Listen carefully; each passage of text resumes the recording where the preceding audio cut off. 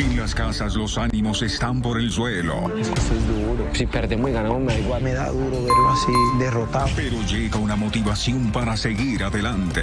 La oportunidad de, de, saber de nuestra familia. En el último episodio del desafío 20 años, los espectadores fueron testigos de cómo la tensión y el agotamiento están afectando profundamente a los participantes. A medida que transcurre el tiempo dentro de la competencia, las emociones se desbordan y las dificultades se vuelven más intensas. Alfa, uno de los equipos menos destacados, está luchando con una crisis emocional. La presión de la competencia ha llevado a algunos de sus miembros al límite. Santi en particular está luchando con su desempeño y recurre a las lágrimas como un intento de justificar su bajo rendimiento. Aunque sus compañeros de equipo pueden ver a través de su estrategia, Mappy, otra integrante de Alpha, también muestra signos de frustración y preocupación ante la posibilidad de perder la próxima prueba, lo que los enviaría directo a Playa Baja, según dijo Karen, que ella no pagaría arriendo seguiría directo a Playa Baja. Se activa el servicio de mensajería y en esa caja que encontrarán fotos, cartas, pero sobre todo, ¿saben qué?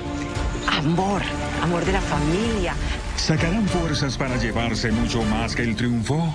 Desafío 20 años. Sin embargo, Alpha no es el único equipo que enfrenta desafíos emocionales. Glot parece estar afectada por la situación entre ella y Caroline, mientras que se vislumbra lágrimas en los ojos de Luisa en Omega, revelando el peso emocional que lleva consigo. A pesar de las dificultades, Andrea Serna, la presentadora del programa, trae una pequeña luz de esperanza al anunciar que los participantes recibirán correo de sus seres queridos. Sin embargo, esta alegría está reservada solo para los ganadores de la competencia, dejando al resto de los competidores sumidos en su sufrimiento emocional, sin nada que los anime.